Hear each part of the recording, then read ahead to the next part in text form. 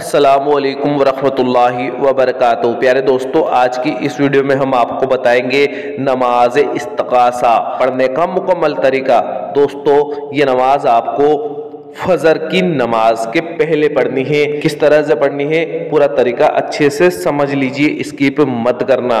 दोस्तों, सुन्नत अली इब्ने अबी तालिब से रिवायत है, हुजूर पाक सल्लल्लाहु अलैहि वसल्लम जब भी किसी अहम काम के लिए रवाना होते तो दो रकात नमाज़ पढ़कर उस अहम काम के लिए अल्लाह की बारगाह में मुझे और आपको तरीका बताते थे कि देखो, तुमको भी कभी अहम काम पर जाना पड़े तो याद रखना, ये नमाज़ पढ़ लेना।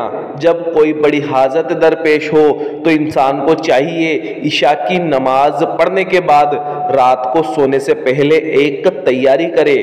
पाक साफ़ बर्तन में पाक और पाकिजा पानी लेकर उसको ढक कर रख दे और बिस्तर पर चला जाए, आराम करे। सुबह फजर होने से पहले उठे और उस बर्तन से तीन घूट पानी पिए और बाकी पानी से वज़ू करे। ये वाहिद मुस्ताहब नमाज़ है, जिसके लिए अजान और इकामत की रिवायत बयान की गई है।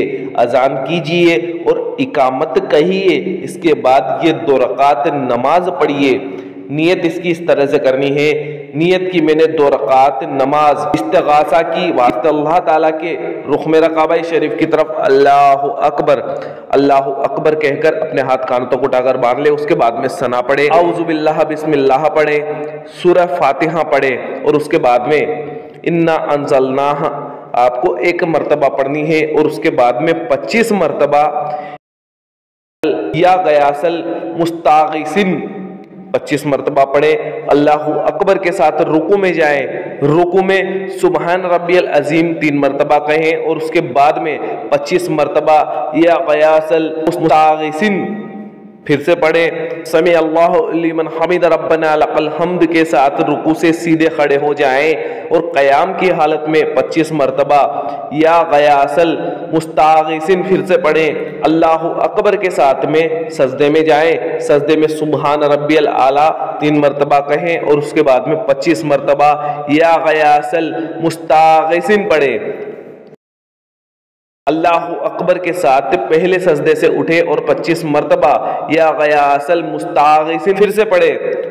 अल्लाह अकबर के साथ दूसरे सजदे में जाए और दूसरे सजदे में सुबहान रबियल आला तीन मरतबा कहें और 25 मरतबा या गयासल मुस्तागिसिन फिर से पढ़े।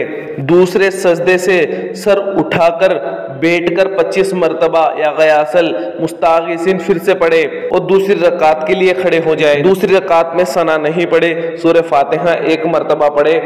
और उसके बाद में कुल्ला शरीफ आपको एक मरतबा पढ़नी है, यानी कि सूर अखलास एक मरतबा पढ़नी है। और उसके बाद में 25 मरतबा, या गयासल मुस्तागिन फिर से पढ़ें और पहली रकात की तरह रुकू और सजदे मुकम्मल करें। दोस्तों, इन दोनों रकातों में आपको या गयासल मुस्तागिन कुल 300 मरतबा पढ़नी है। रुकू और सजदे मुकम्मल हो जाए तो कायदे में बैठ जाएँ। कायदे में आम नमाज़ की तरह अतयात पढ़ें, दुरुद इब्राहिमी पढ़ें और दुआए माशुरा पढ़कर सलाम फेर कर अपनी नमाज़ मुकम्मल कर ले। नमाज़ मुकम्मल करने के बाद तीस मरतबा ये पढ़े। मीनल अब्द अल जलील अल जलील, ये आपको तीस मरतबा कहना है और उसके बाद में अल्लाह तबारक व ताली से अपनी हाजत, अपनी ख़ास ख्वाहिश की दुआ करनी है। इन ताला आपकी ख्वाहिश पूरी होगी, आपकी दुआ कबूल होगी। आखिर में अल्लाह तबारक व ताली से दुआ है कि अल्लाह पाक अपने हबीब सल्लल्लाहु अलैहि के सदक़े से तमाम मुसलमानों की तमाम हाजतों को पूरी करे। आमीन। अल्लाहुम्मा आमीन। दोस्तों, कमेंट बॉक्स में आमीन ज़रूर लिख दीजिएगा। क्या पता किसकी ज़ुबान से निकला हुआ। आमीन। अल्लाह पाक की बारगाह हमें कब कबूल हो जाए।